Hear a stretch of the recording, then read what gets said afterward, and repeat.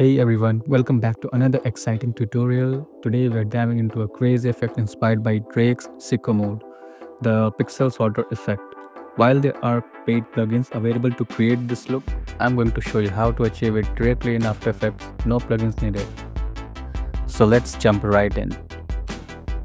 Once you're in After Effects, start by importing your footage and dragging it into a new composition. Next, we need to create a pixel map. To do this, create a new solid layer and name it pixel mapping.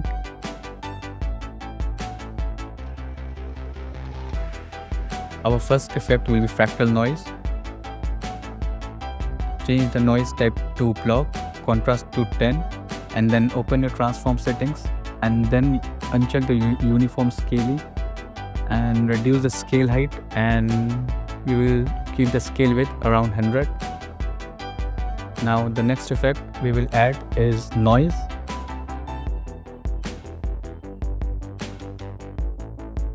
Keep the amount around 50 or 60.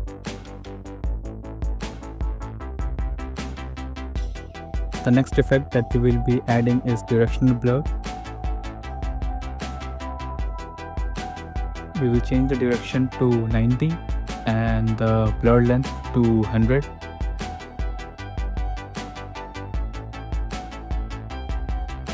Now duplicate the main footage. Let's trim down few starting frames since I don't want the transition to happen from the start. And then drag and drop displacement map.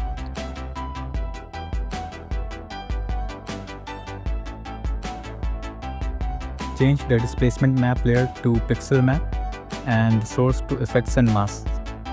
Now we will add a slider control.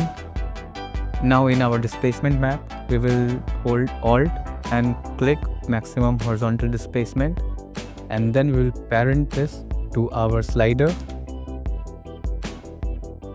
Now select the duplicated footage layer and then go to pen tool and create a rough mask. Move a few frames forward and adjust the mask path to follow the desired movement. Since we want the effect to transition from left to right, this masking helps to guide the effect in that direction.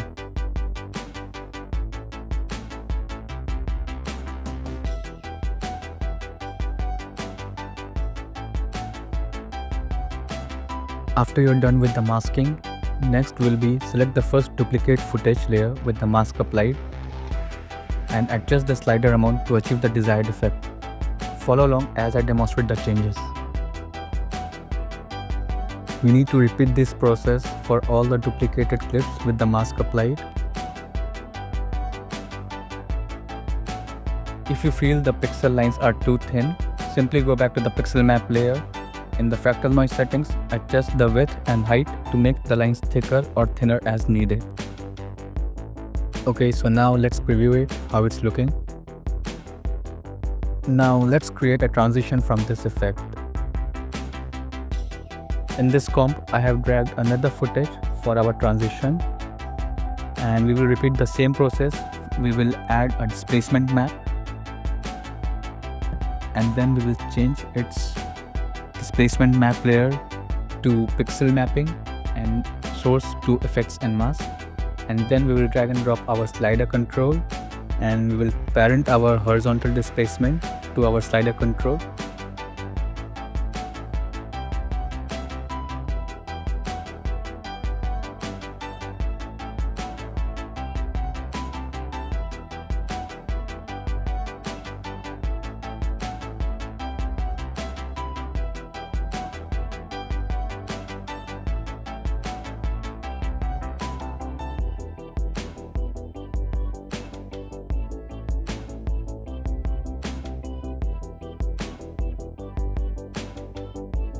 You need to repeat this process for all the duplicated clips with the mask applied.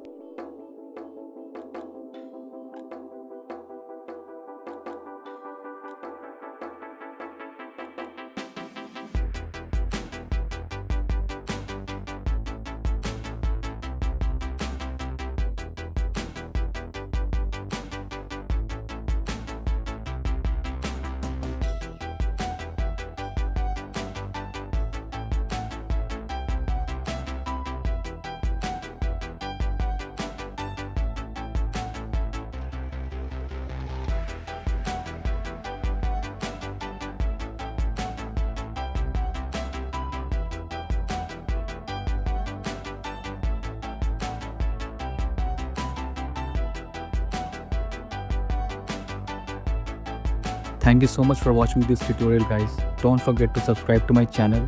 I will be uploading more amazing content for you all regularly. Have a nice day.